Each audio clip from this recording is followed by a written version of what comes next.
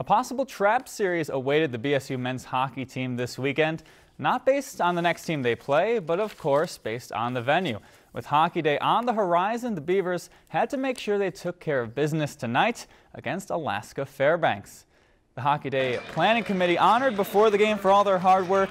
To the action where we start with maybe the save of the year, Zach Driscoll with almost no chance somehow gets a piece of it. Take another look, down for the count, flails the blocker and his leg and we head to the second scoreless. In the second, the Beavers finally woke up. Dylan Eichstadt from the point.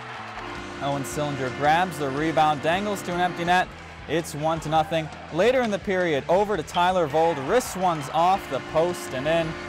Zach Driscoll makes 25 saves in the shutout. Beavers get an empty netter to win 3-0.